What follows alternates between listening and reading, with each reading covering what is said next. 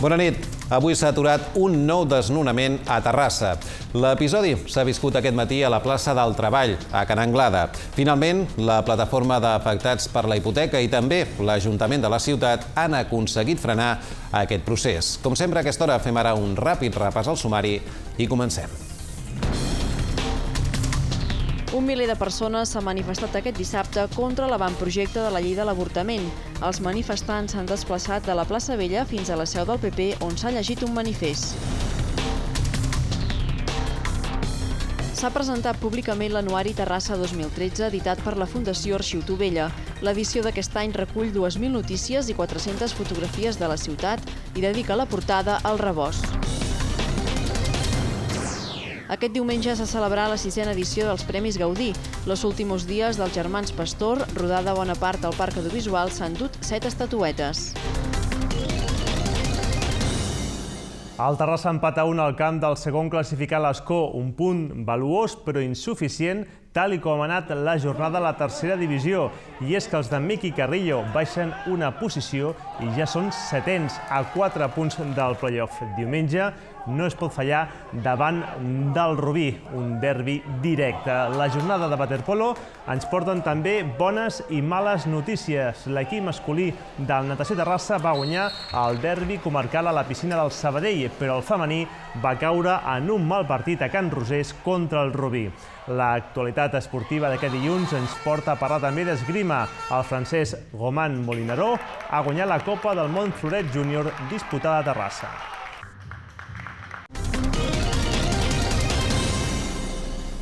El problema dels desnonaments segueix molt present a Terrassa. De fet, avui els afectats han estat una família que viu de lloguer a la plaça del Treball, al barri de Can Anglada. De moment podran continuar al seu pis després d'aconseguir aturar temporalment aquest procés. Aquest és el moment en què Hadmit Agoutan i la seva dona Hannah coneixien la notícia. El desnonament s'ha aturat. La plataforma d'afectats per la hipoteca ha fet una crida a través de les xarxes socials per aturar el desallotjament i l'Ajuntament s'ha posat en contacte amb el BBVA per trobar una solució. La regidora de Ciutadania, Drets Civils i Polítiques Socials d'Habitatge, Lluïsa Melgares, assegura que un cop aturat el procés comencen les negociacions. L'objectiu, segons Melgares, és que aquesta mateixa família arribi a un acord amb el banc, legalitzi la seva situació i pagui un lloguer social. Des del 20 de gener s'han aturat a Terrassa nou desnonaments. El matrimoni i els seus cinc fills, d'entre 3 i 17 anys, viuen des de fa un any de lloguer en el tercer primera de la plaça del Treball número 1. Però el propietari del pis, a qui pagaven els 280 euros al mes, no es feia càrrec de la hipoteca subscrita amb el BBVA. La PA denuncia que es tracta d'un contracte de lloguer fals molt habitual, diuen. És el quart llançament de la vivenda en els darrers mesos. La família demana una solució definitiva per no haver d'estar pendents del desallotjament. Pero nosotros no pueden echar la, la- calle. Tengo cinco, cinco hijos. No tienen ni, ni, ni ayuda, ni, ni paro, ni nada. ¿Dónde, dó- dónde, dónde- bueno, dónde, dónde, dónde para, para, para dejar mi, mi familia? Només han guanyat temps perquè ara el jutjat pot emetre una altra ordre de desnonament en obert, qualsevol dia a qualsevol hora. Hadmit i la seva família porten 10 anys a Terrassa. Quatre dels seus fills han nascut aquí.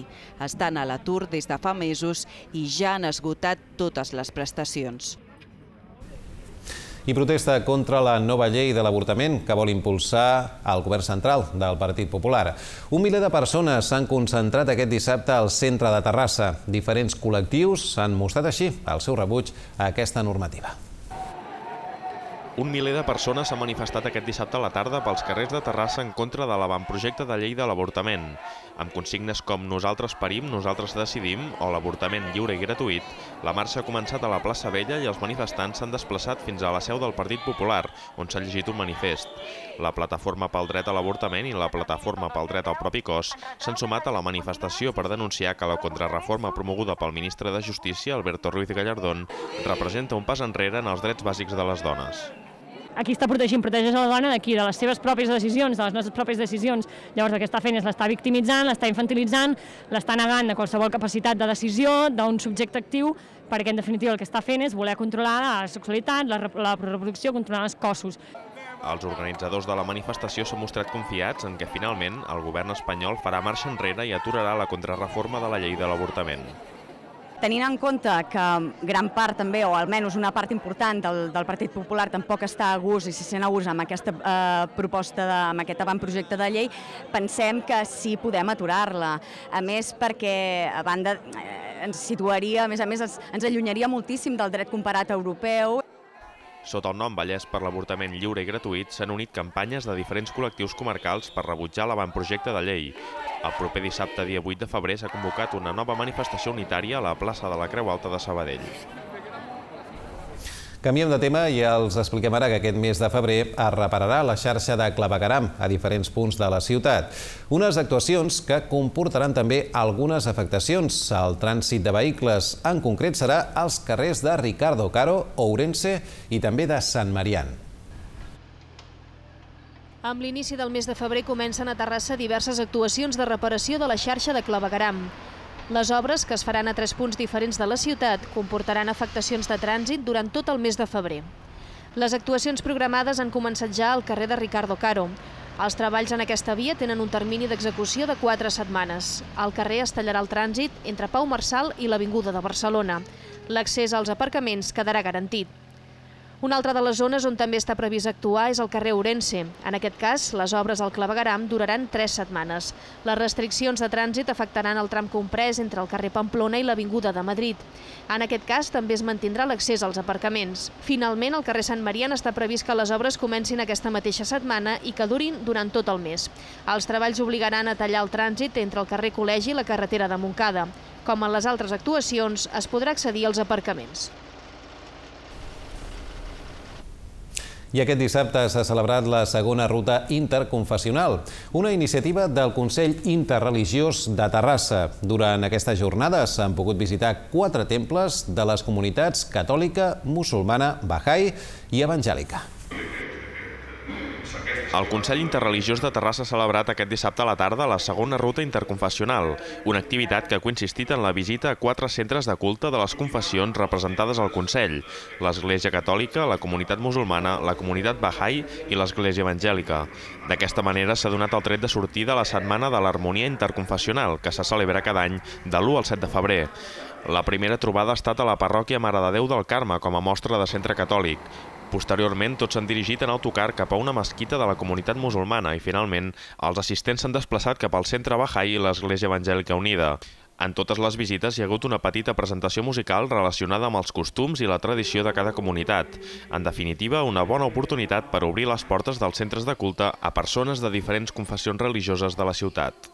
I sobretot que ens coneguem, perquè si ens tenem tancant cadascú dintre del, seva, del seu recinte, doncs no saps què fa el veí i potser doncs és bo conèixer-nos perquè llavors eh, és quan, diguem-ne, mm, no hi ha problemes de convivència ni, ni tibantors. Una oportunitat de cara a la ciutat que poden venir aquí i veure què estem fent com comunitat. La veritat que és, és un treball de la comunitat que és molt, eh, molt important de cara a la convivència, de cara al respecte i de cara al treball participatiu perquè eh, de cara a nosaltres és un treball com fos una vacuna de cara a les coses incíviques dintre la nostra ciutat Terrassa. El president del Consell Interreligiós de Terrassa, David Muniesa, assegura que es busca garantir la cohesió social entre la pluralitat de creences presents avui en dia a la ciutat. Tots els que creiem en un mateix Déu, les religions monoteistes, que són, diríem, els catòlics, els evangèlics, els musulmans, els bahais, creiem en un mateix Déu. Per tant, tenim un mateix pare espiritual. Per tant, som germans, no ens podem barallar. I si hem de discutir alguna cosa hem de quedar amics. I el que fem és trobar-nos a casa d'un o a casa de l'altre el Consell va néixer l'any 2010 amb la pretensió d'esdevenir un espai de reflexió sobre les propostes i debats socials que sorgeixen a la ciutat sobre aspectes de la religió. I d'altra banda, l'Arxiu Tovella ha presentat l'anuari Terrassa 2013. Més de 2.000 notícies i 400 fotografies. El llibre recull el més destacat de l'any passat a la nostra ciutat, una edició, això sí, molt marcada per la solidaritat. L'any 2013 ha estat l'any de la solidaritat. Així ho recull l'anuari Terrassa 2013, editat per la Fundació Arxiu Tovella i que retrata a través de 2.000 notícies i 400 fotografies la vida de l'últim any de la ciutat. L'edició d'aquest any dedica la portada al centre de distribució d'aliments al rebost, la imatge d'una trista necessitat però també d'una creixent solidaritat. Per primer cop, la periodista Mariona Tomàs ha estat l'encarregada del recull de notícies, mentre que Montse Saludes repeteix com a responsable de les principals fotografies. Bàsicament ha estat un any amb molta solidaritat, amb molta consciència de la situació real de la ciutat i la, la gent, els ciutadans, les associacions han sortit molt al carrer i això es reflexa a l'interior, així com també a la portada, que aquest any doncs, és una fotografia d'allò que passa dins del rebost, no? en aquesta recollida d'aliments. Ha sigut un any bastant diguem-ne, tranquil per una banda, perquè no hi ha hagut manifestacions allò molt sorolloses, però per altra banda ha sigut l'any de, de la solidaritat, diria jo.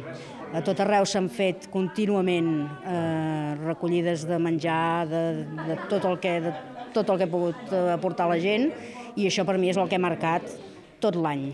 El pròleg d'aquesta edició és de la presidenta de Càritas, Maria Rosa Cristany. Aquest divendres s'ha donat a conèixer el nou anuari a la sala d'actes de la Fundació de la Placeta Saragossa. El llibre número 36 de la sèrie és un testimoni escrit i gràfic dels principals esdeveniments i activitats d'un any a Terrassa. Un retrat viu del que passa a la ciutat i que esdevé primer arxiu i després patrimoni de tots els ciutadans, tal i com ha dit el regidor de Cultura Amadeu Aguado en la presentació del llibre. I els expliquem ara que alumnes i professors de l'Escola Pia de Terrassa han celebrat avui el Dia Escolar de la No Violència i de la Pau. Aquest matí, tots els estudiants del centre s'han reunit al pati de l'escola. Allà s'ha explicat el significat d'una jornada que commemora la mort de Gandhi. A més, eh, també s'ha parlat de la lluita de Nelson Mandela per la pau i, finalment, s'han llegit missatges escrits a diferents mandales elaborats pels propis alumnes. Després s'ha fet un minut de silenci i un mosaic amb eh, format la paraula pau. Recordem que aquesta jornada s'havia de celebrar divendres, però es va plaçar degut al mal temps.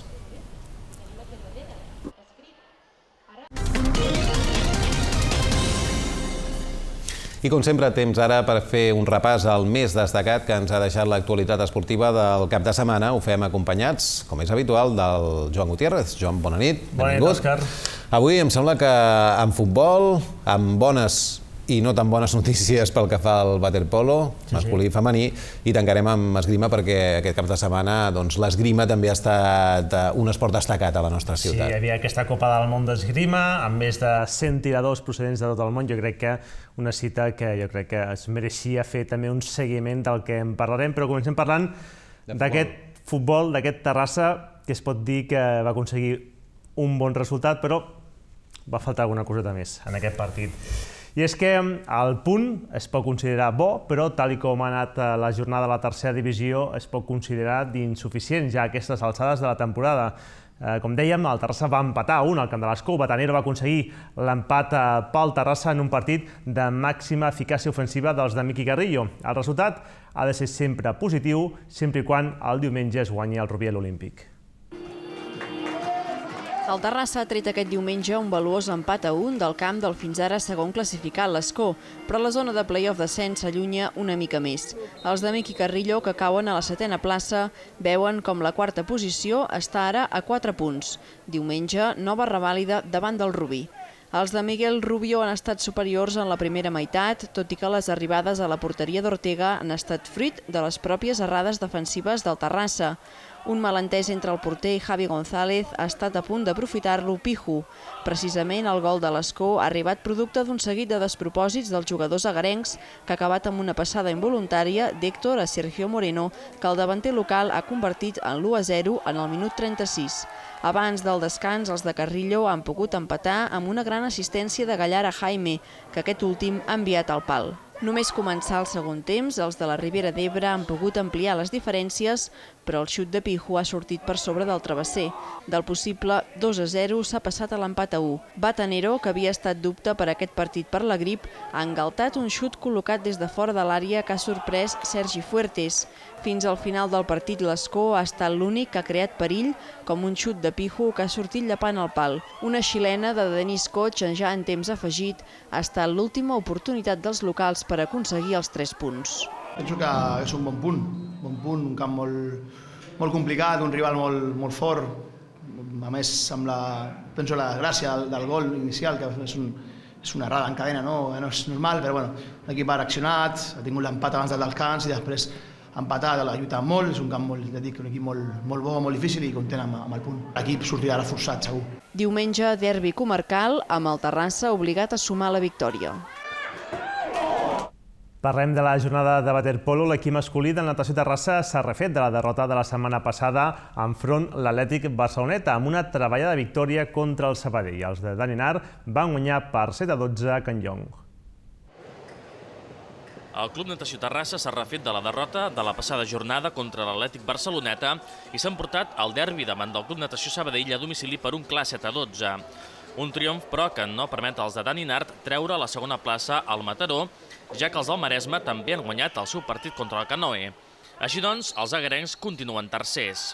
El conjunt de Xava Gómez ha posat les coses difícils al natació durant el primer quart, ja que en dues ocasions s'ha posat per davant en el marcador.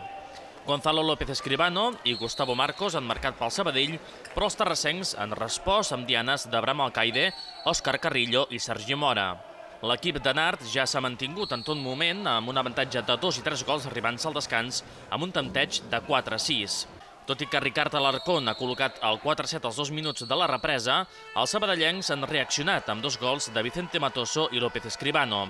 Ha estat, però, un miratge, ja que el natació ha clavat un parcial de 0 a 3 que ja ha estat definitiu. En últim quart, els agarencs han gestionat l'avantatge fins al final. Tot i el marcador, el tècnic terrassenc ha parlat de les dificultats que li ha plantejat el rival. Jo no he vist mai un control defensiu d'aquest partit. A vegades doncs, tens aquesta sensació que saps bueno, que per on pots eh, encaixar gol, per on pots eh, encaixar o, o, o per on et poden pitar la falta greu, l'expulsió, la sanció, però en aquest partit era molt, en aquest sentit no he tingut mai el control, la sensació de tenir, de saber, d'anticipar-nos, no? com a equip no hem tingut la, la sensació d'anticipar-nos el que ens podia fer el, el Sabadell, i això fet que, bueno, doncs que no hem estat còmodes, no hem estat gens còmodes en aquest partit. El Sabadell interessat molt que esperés més el joc més sovint i que no hi hagués aquesta continuïtat, i nosaltres amb això doncs, bueno, no ens hem adaptat.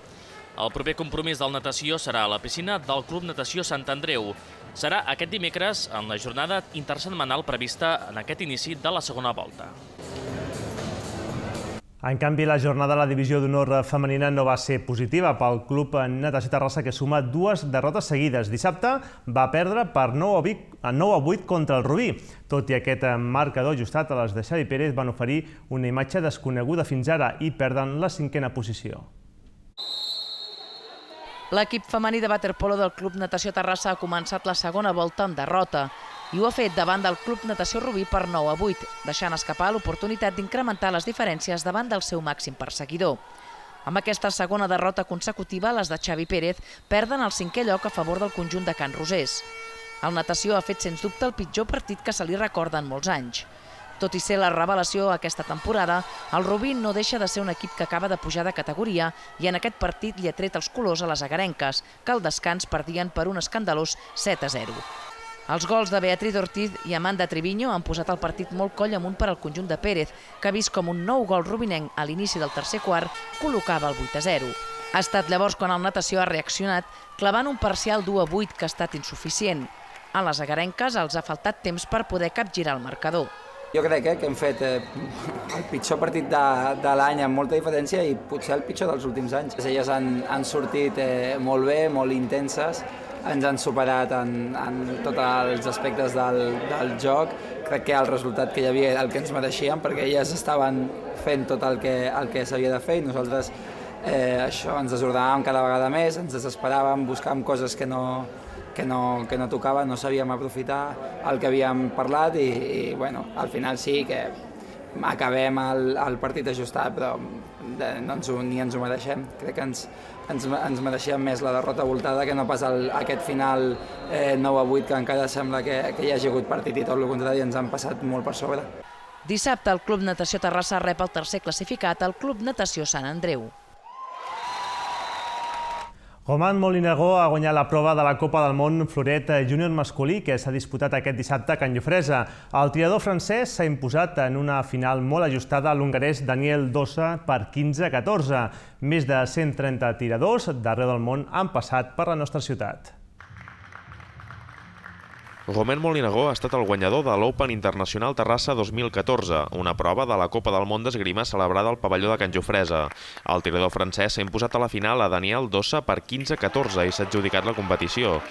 D'aquesta manera, la ciutat ha tornat a acollir per segona vegada consecutiva una prova de la Copa del Món en la modalitat de floret masculí júnior. En total hi han participat 132 tiradors d'entre 15 i 20 anys, procedents de 23 països, alguns d'ells amb molta tradició en l'esgrima i que no van participar l'any passat, com Alemanya i Hongria. Per a la presidenta del Club Esgrima Ciutat de Terrassa, Marina Roncal, el fet que la ciutat torni a acollir la Copa del Món és la mostra que es fan bé les coses. Estem molt satisfets, de debò. En, és un honor i a més a més hem tingut una grata sorpresa perquè l'any passat van ser 64 participants i aquest any estem en 132, és a dir, és que hem doblat pràcticament l'assistència a aquesta Copa del Món. Estem molt sorpresos, gratament sorpresos, perquè això significa que és ben acollida, ben rebuda i ben valorada. L'Open Internacional ha estat organitzat pel Club d'Esgrima Ciutat de Terrassa i la Federació Catalana i Espanyola d'Esgrima, amb la col·laboració de l'Ajuntament, el Consell Català de l'Esport i l'UFEC. Pels responsables ha suposat tot un repte organitzatiu. Es poden fer molts balanços, el balanç esportiu, el balanç organitzatiu. Mm, de moment la, la competició està funcionant correctament, per tant el tema organitzatiu penso que sempre podem fer-ho millor, però crec que controlem la situació. Aquesta prova ha estat clau en la classificació de moltes seleccions nacionals per al Campionat del Món de Bulgària. Fins a 10 tiradors entre els 20 primers del rànquing mundial hi han competit. Pel que fa a la representació espanyola, Sergio Lacasta ha estat el que ha fet més bon paper. El campió ha estat el absolutí júnior, però no ha pogut superar Axel Kiefer i ha quedat entre els 32 millors.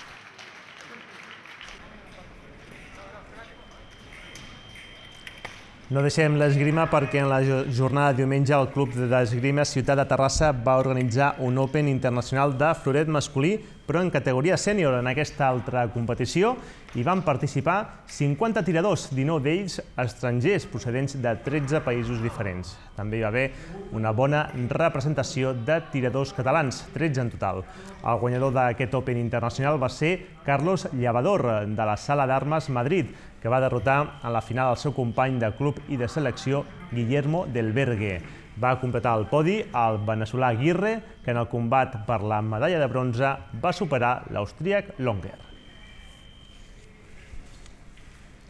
Unes imatges que sempre ens apropa una miqueta més a aquest esport una miqueta desconegut per a molts de nosaltres, però que nosaltres, Òscar, intentem apropar als nostres telespectadors que sempre és bo veure una Copa del Món aquí a Terrassa i d'aquí poc imagino que hi haurà també el Campionat de Catalunya que també se celebra aquí a Terrassa. Això no va dir que tampoc és la primera cita així de, no, no, no. de relleu que, que es fa aquí a la nostra ciutat. Esperem que repeteixin.